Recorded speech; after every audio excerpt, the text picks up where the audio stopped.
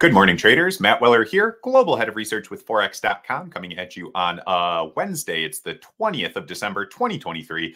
Here's the key news you need to know ahead of today's U.S. session. Back in the European session, we had the release of UK CPI, and kind of following a trend that we've seen across the rest of the globe, inflation is receding, and in fact, receding by more than expected by traders.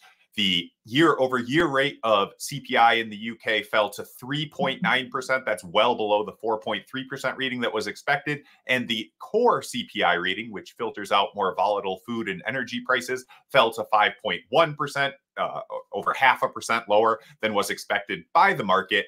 And this sort of um, undermines the Bank of England's argument from last week that it would leave interest rates high and, in fact, potentially raise them more if inflation's coming down to target, if growth is slowing down in the country, it's likely the Bank of England will be joining the rest of the developed world in cutting interest rates in the first half of the year. And that's exactly what the market is pricing in. The odds of a May interest rate cut uh, have risen to 100% for now, uh, based on OIS pricing. And indeed, in March, it's seen as a 50 50 coin flip that the Bank of England could cut interest rates.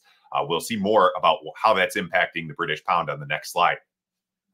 For today's US session, the key release to watch will be the Conference Board Consumer Confidence reading. The headline is expected to improve to 104.6. And just sort of taking a step back, objectively, the economy appears very strong right now. Unemployment is below 4%. Inflation is at about 3% and falling. The stock market's at record highs. Gas prices are at two years two year lows. I think there could be upside potential in this reading, just given all of those factors. We'll see how that comes out and how it impacts uh, U.S. assets throughout the day.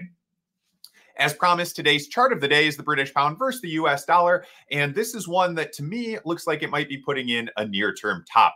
Pound dollar broke out above the 61.8% Fibonacci retracement. Uh, that's at 127.25 or so uh, last week. But we've since put in a lower high there was a bearish divergence in the RSI at that recent high from last week, indicating less buying pressure behind that move, even though price made a new high. And of course, with that UK CPI report, with traders pricing in the potential for the Bank of England basically to cut interest rates at the same pace as the Fed, that's going to bring interest rate expectations more into alignment and could weigh on the British pound after the uh, central bank meetings boosted it a week or two ago. To the downside, key levels of support to watch are the top of the early December range at 126.10. And if that breaks the 50 day exponential moving average, and the bottom of that range comes in at 125.10. So those would be the levels to watch to the downside if pound continues to weaken from here.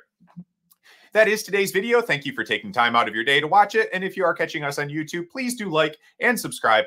Uh, that really helps us with the algorithms and will keep me doing more of these videos in the future. Thank you.